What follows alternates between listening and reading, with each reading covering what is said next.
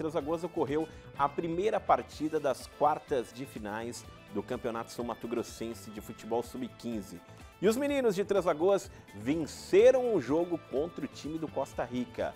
O Israel Espíndola vai contar toda essa história. Pois é, o Campeonato Sul Mato Grossense Sub-15 e o time de Três Lagoas venceu a primeira partida das quartas de final. Agora jogando em Costa Rica, se conquistar o empate, já estamos na semifinal. E é sobre este assunto que eu converso agora com o técnico Renato Ribeiro. Treinador, é um jogo difícil agora na casa deles. Como é que está a cabeça desses meninos? Sim, velho. Esses meninos é, a gente vem trabalhando já há dois anos. É, já estão criando uma casca, né? Já estão cascudo e fizemos um bom jogo ontem. E vamos lá com um grande resultado, 1 a 0 o empate da vaga nós à semifinal. Agora nós estivemos lá acompanhando parte, inclusive tem imagens rodando aí. É, o time de Costa Rica é muito amarrado, falado demais, e os meninos mostrou frieza e soube colocar a bola no pé mesmo.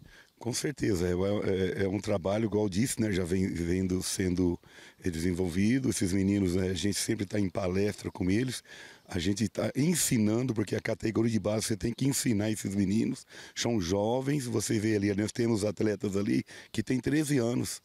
Né? Tem atleta ali que está é, mais novo e está jogando. Tem um atleta ali é, é, com 14 anos está jogando.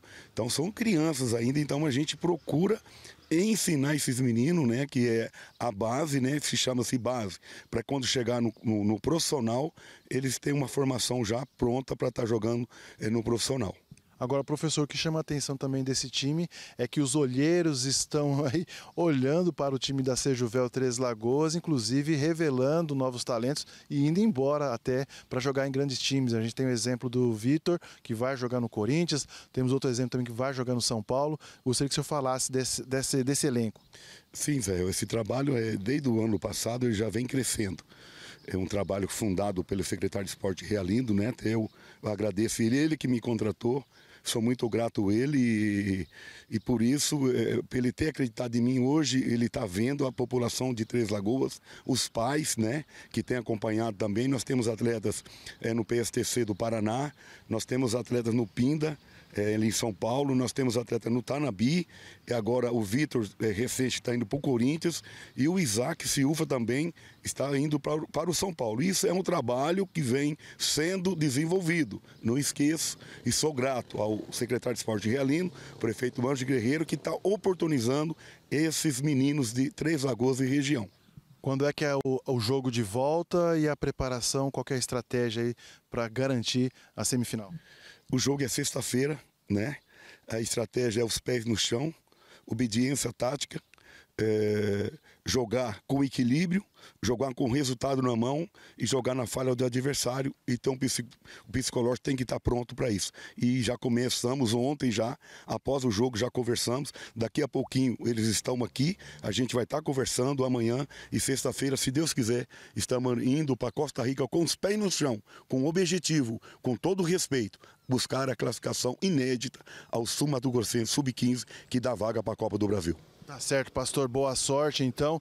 Vale lembrar, então, que Costa Rica é o rival em potencial a, do, do, time contra Três Lagoas. E aproveitar aqui para conversar com o secretário Antônio Realino.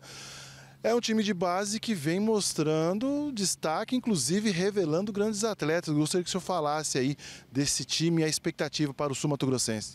É, Zé, isso é inédito na Entre Lagoas. A gente iniciou esse trabalho aí no início dessa segunda gestão do prefeito Anjo Guerreiro e graças a Deus a gente estamos, nós estamos colhendo os frutos agora. E o exemplo de ontem, né, numa partida difícil, Costa Rica, não é qualquer equipe, é uma equipe forte, uma equipe assim, é, concentrada, uma equipe que tem uma estrutura muito boa, tanto que tem o time do Costa Rica no profissional. Então, assim, os garotos que estão entrosados já há muito tempo jogando e nós demos ontem um exemplo de que realmente nós somos fortes e temos que ser ser respeitado. Então, Três Lagoas hoje, graças ao trabalho do nosso treinador Renato, ao apoio do prefeito Anjo Guerreiro, a administração municipal voltada realmente a fortalecer e criando aqui políticas públicas para ajudar essa garotada. Então hoje não é sonho mais, é uma realidade. A equipe de base hoje é uma equipe forte, que é respeitada não só no Mato Grosso Sul, mas no Centro-Oeste e principalmente ali no interior paulista. Então eu espero que esses garotos na próxima sexta-feira, agora no feriado, né, dia 15, possa ir lá e, e vir com a classificação, porque, como você colocou,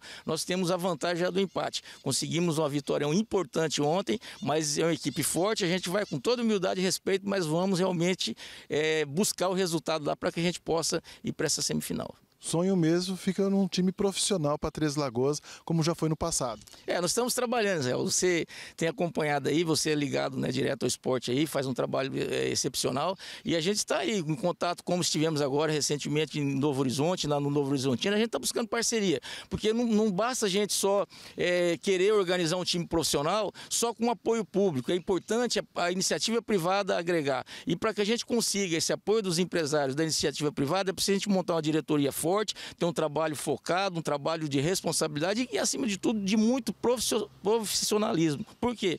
Porque profissional não foi feito para amador. Nós já temos uma base forte hoje. Dessa base, nós estamos colhendo os frutos. Mas, com certeza, a gente tem um projeto para um time profissional e, se Deus quiser, nós vamos juntos, né? Inclusive, vocês da imprensa nos ajudar para que a gente monta um time de ponta e é montar para subir, né? Para subir e realmente a gente ter, quem sabe, no futuro muito próximo aqui, disputando um time profissional de Três disputando a Copa do Brasil. Tá certo, secretário. Obrigado pelas informações. Então tá então, sexta-feira é o jogo de volta lá em Costa Rica e o Sub-15 de Três Lagoas joga aí com a vantagem do empate para avançar na semifinal do Sumato Grossense Sub-15. Volta aos estúdios.